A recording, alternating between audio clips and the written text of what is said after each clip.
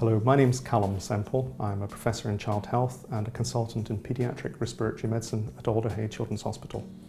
Yes, we're seeing a lot of children with asthma and respiratory problems, including infections such as bronchiolitis and pneumonia. And there's quite a lot of research evidence to show now that the presence of small diesel particulates and the, uh, the NO gas from car fumes is associated with increasing the risk of these problems and increasing the severity of these problems for children. Well, they're more likely to have wheeze and asthma. They're more likely to get severe bronchiolitis and severe pneumonia that makes them come into hospital. So we are seeing parents bring their children to our clinics and they themselves are recognising that the closeness that they live to these busy roads uh, is causing problems for their kids' health. We, we think that the reason children are suffering more is because they're shorter, so they're closer to the ground. Children actually breathe a little bit faster than adults do for their size, so they breathe in more of the fumes and the particles than the adults.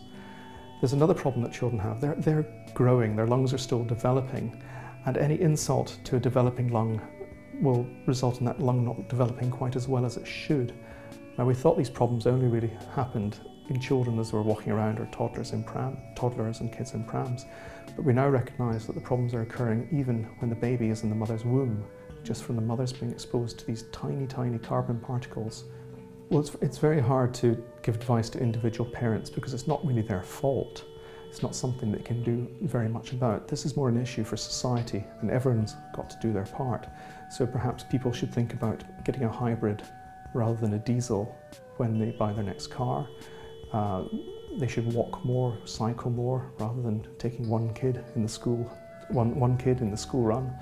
Um, perhaps we should be thinking about parking further away from schools and getting kids to walk in.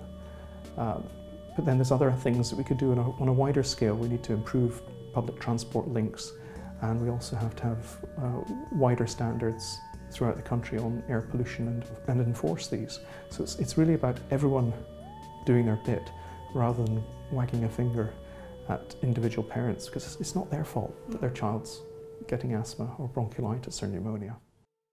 For more information on what you can do to reduce your exposure and contribution to air pollution, visit www.letscleartheairliverpool.co.uk.